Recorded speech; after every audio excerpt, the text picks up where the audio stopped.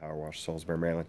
Um, want to talk real quick about liking other pressure washing businesses' pages and putting reviews and everything on there.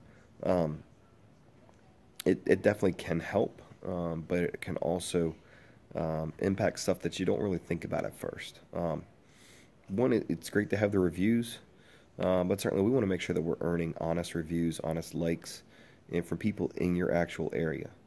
Um, you know, if if somebody who's not in my area likes it, um, it can mess with the algorithms and stuff as far as how the business is showing up.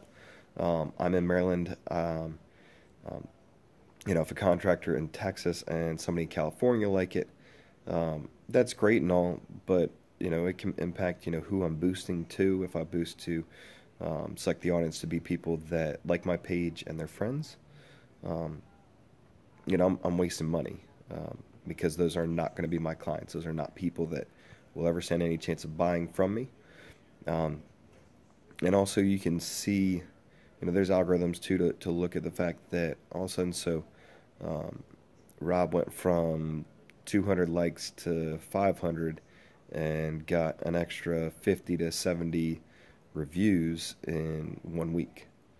Um, you know, I, I can't tell you the exact inner workings or anything like that, but um, there's definitely measures in there to make sure that people aren't, you know, quote unquote, buying or or trading links, trading views or, not reviews, but reviews.